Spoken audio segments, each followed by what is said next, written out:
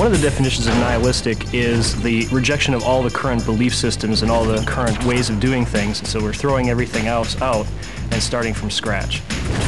The main thing we wanted to do was make a very small team where every person on the team is an integral part of the process. The culture of nihilistic is like a big clubhouse, really.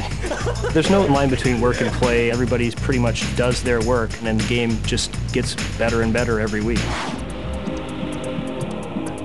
Vampire the Masquerade is a role-play game where you actually play a vampire in both 12th century Prague and the modern day New York and London. The mighty walls of Prague once held all demons at bay. Oh, sheer volume of models and art can be very challenging for an art team, and Maya keeps the process moving smoothly so we can crank out a lot of uh, material in a short amount of time. We have Christof here. We want to give that sense of mysteriousness that comes with the cape and also Chris. Creating 120 models within a 14-month span, so we wanted a really good character animation package that could allow us the freedom to animate easily, and not get caught up in making the tool work. For the main character, Christof, we wanted to have a nice soft look to the cloth and hair, be able to move it convincingly. With Maya, we could weigh the vertices easily, we could create a skeletal structure inside the models and animate it.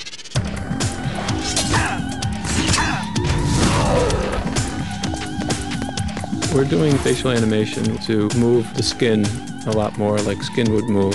So with Maya, we can show emotion.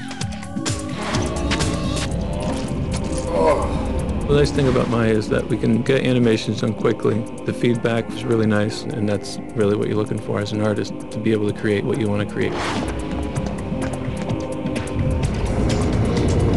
Making a game is really a balance between technology and art. Maya is important because for the programmers it's a very clean, simple interface to actually get the art out, and for the artists it's a very simple, easy to use tool that gets the art finished. When we started developing our new engine, uh, we actually used the Maya API to go from concept in Maya to actual running model on the PC. The Maya API gives us exactly the data we want, when we want it.